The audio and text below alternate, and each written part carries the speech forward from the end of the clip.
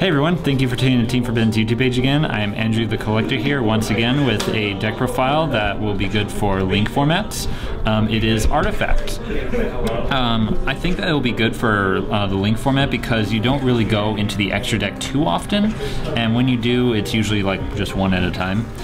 And a few of these cards I butcher. I'm going to butcher their names because I don't know how to pronounce them, so I apologize in advance. So let's get into it. All right. So first off, we have three Bagoti Beagalltach. Beagle Tech. Thank you, Scott.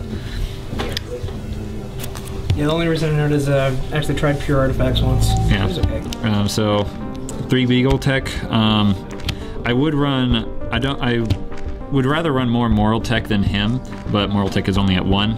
Um, so until he gets, um, while he's still at one, um, still a good card tech because that's 21 defense and decent effect when you need it. Yeah, it helps trigger your other artifacts. Hopefully next banlist Moral Tech will go to two like in the OCG. Maybe. Next is Artifact Caduceus. Caduceus. Um, they all share the same effect when the, um, you set them as spells and traps, and if they're destroyed by a card effect, they get special summoned. Um, his effect is uh, when he's special summoned, um, each time a artifact is um, destroyed, or Special summoned. yeah, every time an artifact mo- uh, monster is special summoned, you draw one card. So run three, no less. It's good draw power. Then next is two artifact scythe. The one that everyone is running.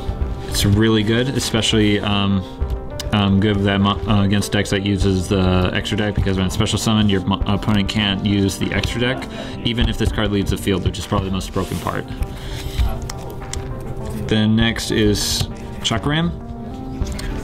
Um, it's a decent tech choice. I mainly have it in here for its uh, defense capability and just for targets. Um, next is to Artifact Lancea to prevent your opponent from banishing stuff, stops ADCs, blue eyes, and so forth. Infernoids. Fornoids too. That's a popular side deck choice. Uh, it's actually a main deck in a couple of decks in the OCG. Dinos, don't forget dinos. Yes. Then we have just the one-offs again for more targets and special summonings. And then the most important one, Moralltach. When it's special summon, destroy one one uh, card your opponent controls. Doesn't target. Does yeah, does not target.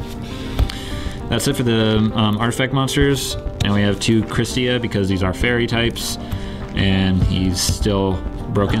I would um, I I'm fine with just um, being at two um, because three is a little clunky. You don't want to see more than two in a hand at a time.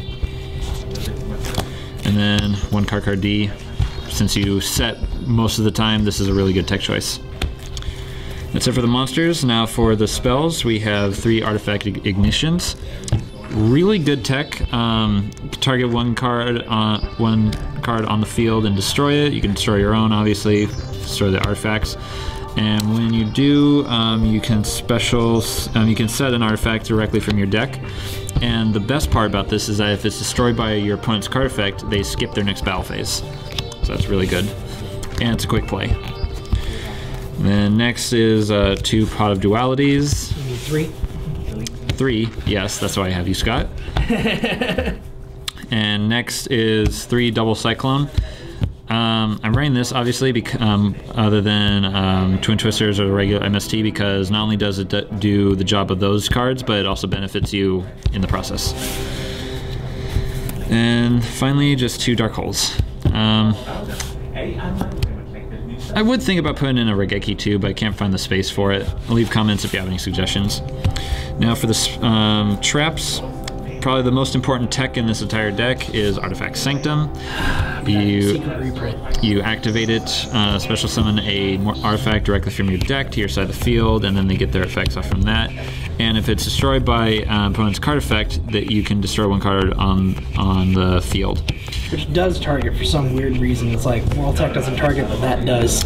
And one of the best combos I like to do with these and Ignition is that if, let's say, it's face down and they target it with a Twin Twister, you activate it, get its effect off, and then it still gets destroyed by your opponent, so you get that last effect off on both this and Ignition. So that's a really good plus off for, for those in, if you, in case you don't know. And then everyone plays Cosmic Cyclone with the new structure that comes out. We all cry.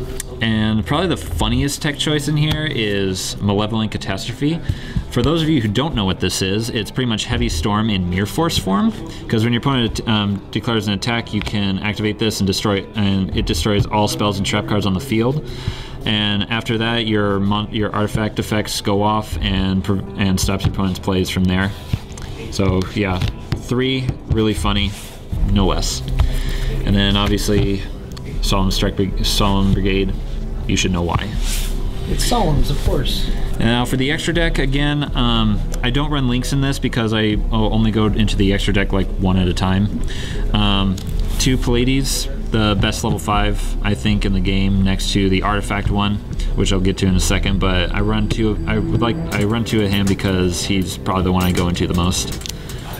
And then just um, the next one is Durendal. One thing Scott told me is, uh, is the funniest thing is that they activate Pot of Desires. You activate this effect, destroy one spell or trap card on the field, and they still banish the top 10 cards of their deck. Really funny. So probably uh, the second best next to him. Can't tell which one um, would be better, but I would run a second one, but I don't have a second one, so I'm just stuck with just one. Yeah, the other thing to note about Durendal is it's got that second effect as well, where you detach the material and both players shuffle all cards in their hands and their decks and then draw the same number of cards. Yeah. Really good disruption effect. And then, other than that, just um, regular rank fives: uh, Vul- Volcasaurus, Wind Up, Ninja, um, Quantum, um, Armageddon. I would run the other guy, but I don't have him. Um, M7 I was, for about, I was about to say, where the hell is he? yeah, M7 for Pleiades.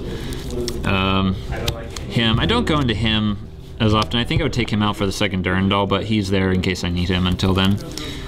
Um, Shark Fortress and number 14. Probably the most interesting tech I have, again, I may not go into this, but I'd rather have it if I need it, is number three, number C39 Utopia Victory Ray and Leo Arms. It's a really good combo. If you don't know what it is, look it up. I'm not your teacher. Question: Why no Gaia Drake? Don't have it. Uh, that's the best reason to not have a card in there. Yes. Oh, hi, Eric. Oh, Ahoy! Back to me. Alright. So yeah, um, thank you for um, checking out this deck profile. As always, if you have any suggestions, leave comments down below. Um, this is in honor of my friend Scott, who um, unfortunately is no longer with us. So Hey. I'm not dead yet. Not not dead yet. he will be. oh, is that a threat? yes. All right. Um, thank you guys, and we will catch you guys later.